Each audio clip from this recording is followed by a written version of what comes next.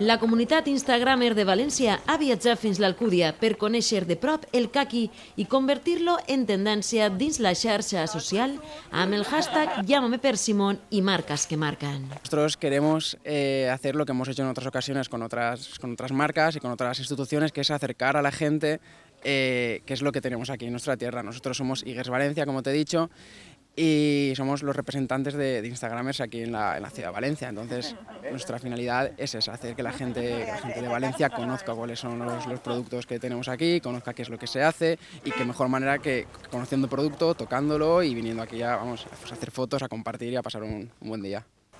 Des de la denominació d'origen Caqui Ribera del Xúquer, pensant en la comunitat d'Instagramers de València com la millor opció per promocionar el producte a través de les xarxes socials. Personas que lo que se dediquen son a influir en la red sobre productos, en este caso eh, de una forma importante sobre possibilitats d'incorporar productes novedosos a la cuina eh? i, i la importància de que avui pues, esta gent que, que de totes formes, si ja els ho he dit a ells, eh, estem agraïts perquè, pues perquè sabem tots en la Ribera la importància del producte i la importància de donar-lo a conèixer. I això és una forma de donar-la a conèixer a aquesta gent, la gent jove, eh, que eh, segueix molt la red, l'internet, i és una forma d'aplegar a la gent jove i donar-li a conèixer un producte, però en altre costat estem promocionant, com bé sabeu, en la televisió i a tres mitjos.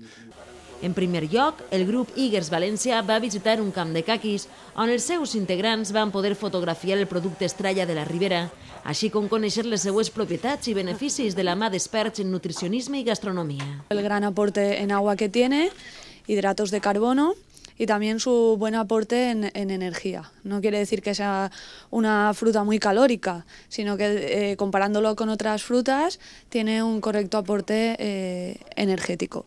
También es rico en vitamina A, C y potasio.